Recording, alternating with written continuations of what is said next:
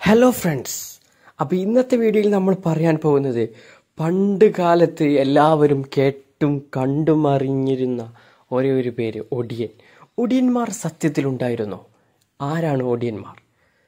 നമുക്ക് ചെറിയൊരു വിശദീകരണത്തിൽ കിടക്കാം.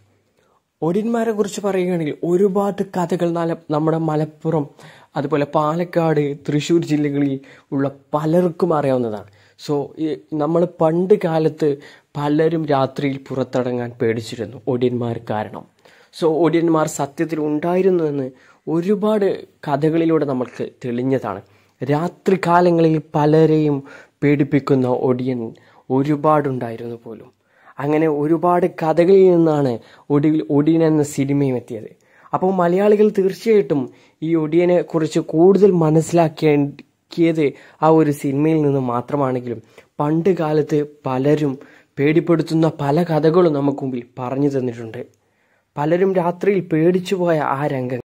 ഒടിയന്മാർ ഒരാളെ നോട്ടം വെച്ചാൽ അദ്ദേഹത്തിന് പിന്നെ ജീവിച്ചിരിക്കാൻ കഴിയില്ല ഒരിക്കലും.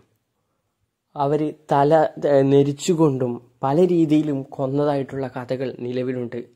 സോ ഇന്ന് ഇത് മാത്രമാണ് ഞാൻ നിങ്ങളിലേക്ക് ഇതൊന്ന് നിങ്ങളിലേക്ക് പറയണമെന്ന് മാത്രം തോന്നി. അതുകൊണ്ട് പറഞ്ഞു എന്ന് മാത്രമേ ഉള്ളൂ. യഥാർത്ഥത്തിൽ ഇതൊക്കെ സത്യമാണെന്ന കാര്യം നിങ്ങളെല്ലാവരും അറിഞ്ഞിരിക്കണം. പണ്ടുള്ളവർക്ക് മുമ്പിൽ പല കഥകളുണ്ട്. അതായത് രാത്രിയിൽ പുറത്തിറങ്ങുന്ന സമയത്ത് ഓടിയന്മാരെ കണ്ട ഒരുപാട് പേരുണ്ട്.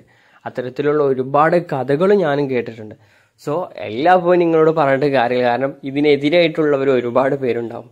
അതുകൊണ്ടാണ് ഞാൻ എല്ലാ കാര്യങ്ങളും നിങ്ങളിലേക്ക് എത്തിക്കാത്തത്. സോ ഇന്നത്തെ വീഡിയോ ഇവിടെ അവസാനിക്കുകയാണ്. കൂടുതലൊന്നും നിങ്ങൾക്ക് കിട്ടിയില്ലെങ്കിലും അത്യാവശ്യത്തിനുള്ള തന്നിട്ടാണ് ഞാൻ നിർത്തുന്നത്. അപ്പം നെക്സ്റ്റ് വീഡിയോയിൽ വീണ്ടും കാണാം. So good bye good luck thank for watching